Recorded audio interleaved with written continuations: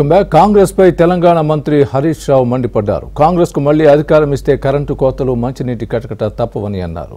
కాంగ్రెస్ పాలనలోనే నిరుద్యోగులకు తీరని అన్యాయం జరిగిందని అన్నారు. హిమాచల్ ప్రదేశ్ ముఖ్యమంత్రి తెలంగాణను చూసి నేర్చుకోవాలని అన్నారు. ఖచ్చితంగా నల్లగొండ జిల్లా టిఆర్ఎస్ పార్టీకి కంచుకోట.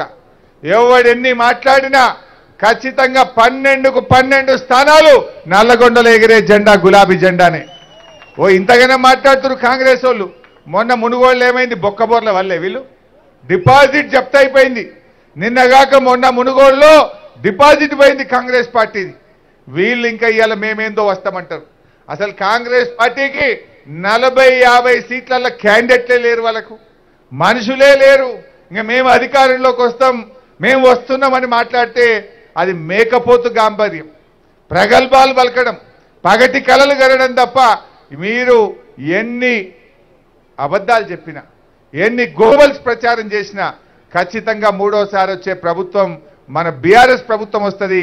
కాంగ్రెస్ పాలనలో పదేళ్ళ కాంగ్రెస్ పాలనలో వాళ్ళు ఇచ్చిన ఉద్యోగాలు కేవలం ఇరవై నాలుగు వేలు. మొత్తం ఆంధ్రప్రదేశ్లో. మొత్తం ఆంధ్రప్రదేశ్లో పదేళ్ళ కాంగ్రెస్ పాలనలో పబ్లిక్ సర్వీస్ కమిషన్ ద్వారా ఇచ్చిన ఉద్యోగాలు ఇరవై నాలుగు వేలు. అందులో మన తెలంగాణకు వచ్చినాయని ఆరు వేలు. మీ పదేళ్ళలో మీరు ఇచ్చినవి ఆరు వేలు ఉద్యోగాలు. కానీ ఇలా కేసీఆర్ గారి పాలనలో పోయిన ఐదేళ్ళలో లక్ష యాభై రెండు వేల ఉద్యోగాలు ఇచ్చాం. ఈ ఈ ఐదేళ్ళలో ఎనభై వేల ఉద్యోగాలకు ఇప్పుడు నియామకాలు జరుగుతున్నాయి. నిన్న మాట్లాడుకుంటూ వాళ్ళు ఏమంటున్నారంటే మా పాలన తెస్తాం కాంగ్రెస్ వాళ్ళట వాళ్ళ పదేండ్ల పాత పాలన తెస్తారట అంటే మీ పాలన తెచ్చుడు అంటే ఏంది నాయనా? మా అక్క చెల్లెలు మళ్ళీ బిందెలు పట్టుకొని మిరియాలగూడలో రోడ్ల మీదకి రావాలనా? మా అక్క చెల్లెలకు మంచినీళ్ళు లేక బిందెలు పట్టుకొని ట్యాంకర్ల వెనుక ఉరకాలనా? బోరింగులు కొట్టి చేతులు నొప్పి పెట్టాలనా? మా రైతులకు మళ్ళా మున్పటి లెక్క మీ కాంగ్రెస్ హయాంలో ఇచ్చినట్టు ఏడు గంటల కరెంట్ ఇస్తారా? పొద్దుందాకా మూడు గంటలు దొంగ రాత్రి నాలుగు గంటలు కాలిపోయే మోటార్లు పేలిపోయే ట్రాన్స్ఫార్మర్లు ఎండిపోయే పంటలు. మీ పాలన అంటే అది తీసుకొస్తారా అని నేను అడుగుతా ఉన్న కాంగ్రెస్ నాయకులను?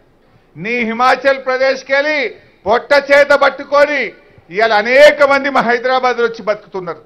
మా తెలంగాణకు వచ్చి బతుకుతున్నారు. నీ దగ్గర నిరుద్యోగం ఉన్నది నీ ఇల్లు నువ్వు చక్కగా చూసుకో. నువ్వు మా దగ్గర వచ్చి నీతులు చెప్పుడు కాదు నేర్చుకొని పోయి నీ హిమాచల్ ప్రదేశ్లో నీ ప్రజలకు సేవ చేయి కనీసం వాళ్ళైనా బాగుపడతారు.